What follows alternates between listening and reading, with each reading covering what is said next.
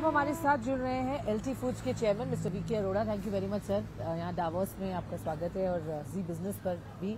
सबसे पहले बिज़नेस की बात कर लेते हैं. एलटी फूड्स 2020 में क्या आउटलुक रखते हैं सर और uh, लगता है कि इस साल आप बेहतर परफॉर्म करेंगे as oppose to last year हम लोग बराबर पिछले कई सालों से कंटिन्यूसली ग्रोथ कर रहे हैं. डबल डिजिट ग्रोथ इस साल भी होने की पूरी उम्मीद है.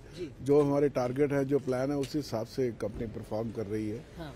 जो जो भी बिज़नेस की एक्टिविटीज़ है so we doing our brands Daawat royal and eight one seven Indus valley they all doing great और getting we getting good consumer response so we are getting to value added business of organic business and the few more ingredient organic business ठीक है। तो आप क्योंकि आप global markets में बहुत ज़्यादा स्ट्रांग प्रेजेंट रखते हैं सत्तर से ज़्यादा कंट्रीज़ में आपके ब्रांड्स हैं तो ग्लोबल मार्केट्स का रिस्पांस कैसा आ रहा है और कैसे ग्रोथ वहाँ देख रहे हैं? कौन से नए मार्केट्स हैं जहाँ आप सोच रहे हैं कि आप एंटर करेंगे और अच्छा रिस्पांस आपको मिलेगा हम अभी साल, दो साल पहले यूरोप में एंटर किया है बहुत ही अच्छा रिस्पांस मिला, क्योंकि हमारी जो इंटेग्रेटेड सप्लाई चेन है, उसके कारण हमें कंज्यूमर का या पार्टनर का स्टेक होल्डर का काफ़ी अच्छा रिस्पांस मिलता है।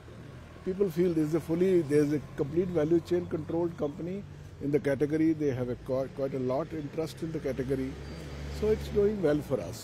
Expansion plans क्या हैं आपके आप जिस हिसाब से ग्रो कर रहे हैं बिज़नेस में ऑर्गेनिक आप बोल रहे हैं फूड्स पे ज़्यादा ध्यान है तो कितना कैपेक्स आप लाइन अप कर रहे हैं इनऑर्गेनिक ग्रोथ प्लान्स हैं कुछ एक्विजिशन पे आप देख रहे हैं या टाइप देख रहे हैं कैसे आगे का ग्रोथ प्लान चार्ट आउट बिल्कुल देख रहे हैं ऑर्गेनिक एक्सपेंशन प्लान भी है मेनली तो अभी कैपेक्स पे नहीं अभी एक साल के लिए अभी नहीं कर रहे देख रहे।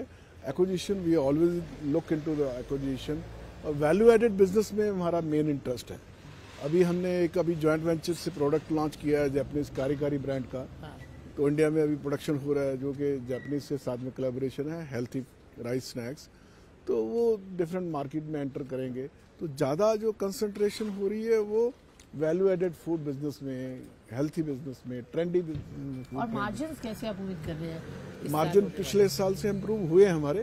धीरे धीरे और इम्प्रूव हों okay and finally sir budget क्योंकि अराउंड द कॉर्नर है और बहुत उम्मीदें की जा रही हैं इस बार। इंडिया इनको लग रहा है कि गवर्नमेंट को बहुत फोकस करना चाहिए ग्रोथ पे क्योंकि कंजम्पशन और डिमांड कहीं ना कहीं हिट हुई है।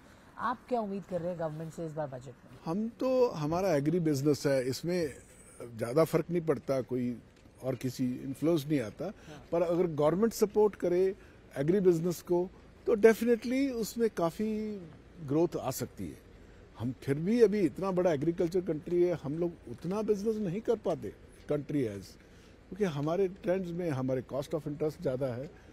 दूसरे कंट्री को बताए अगर दूसरे, अगर यूएस लो या यूरोप लो तो वहाँ से काफ़ी फ़र्क है। अगर गवर्नमेंट कुछ स्कीमों में जो अगर गवर्नमेंट ये चाहती भी है कि फार्मर की इनकम बढ़े तो जो फार्मर बेस्ड इंडस्ट्री है उसकी तरफ़ थोड़ा सा वर्चुअल ध्यान किया जाए तो वो ज़्यादा इम्पोर्टेंस रहेगा। वो उसकी इतनी लॉबिंग नहीं होती है फार्मर बेस्ड इंडस्ट्री की।